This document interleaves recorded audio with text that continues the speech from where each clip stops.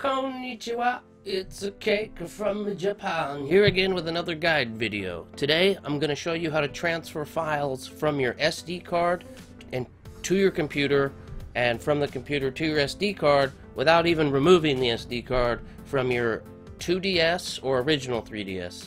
If you want to learn how to do this on your new 3DS, that's even easier than this guide. There's a link in the description uh, or at the end. So the th for 2DS and old 3DS, you're going to have to have Homebrew running. So there's a couple different methods to do that. You can check out, you know, some of these. There's some in the description. We have guides on different ways to get from Homebrew running. So load your Homebrew. Okay, and now that we have the Homebrew loaded up, uh, the next thing we have to do is go to the option called FT Brony. Now, most homebrew packs will come with this already on it. If you don't have yours in here, then you're going to have to go ahead and download it and install it. So I'll put a link in the description, but you'll probably already have it on your system. So go ahead and select FT Brony. And then it's going to boot up like this. And then on the top screen, you're going to have an IP address and port number. On the bottom screen, you got that cool picture. But we only need the top screen for now. So as you can see, IP address is 192.168.2.107 port 5000.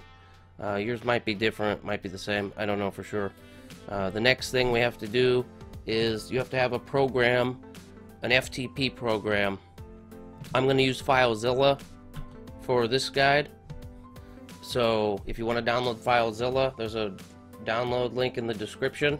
Uh, it's pretty quick and easy and safe, and you just download it and install it like you would with any other program. And the next step is to take the information from your top screen here, this IP address and port number, and you need to enter it into FileZilla. So for host, that's where you type in the IP address. So it's 192.168.2.107.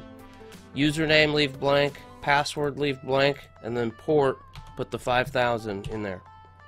And then go ahead and click the quick connect button. Yours might say connect but quick connect. And then just as easy as that now all of a sudden I can see the files in my SD card.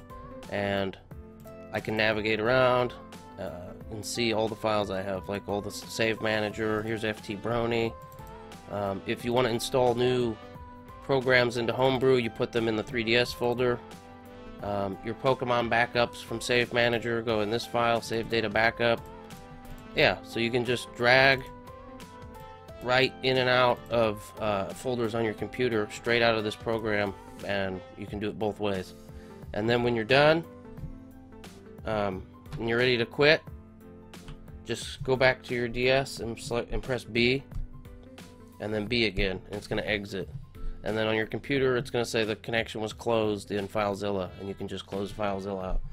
And that's how to transfer files back and forth uh, from your SD card to your computer on a 3DS, original 3DS and 2DS. New 3DS, link in the description. It's even easier. If you need to install Homebrew, check out the vids, all the other vids.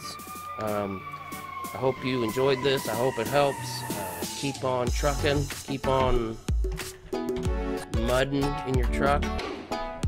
Because the inside's clean, right? There's some song where the mud and mud on the outside, clean on the inside. I heard it. So, you know, maybe you should check that out too. I don't know. I like the song that's playing better, actually, though. Okay, I'll see you later.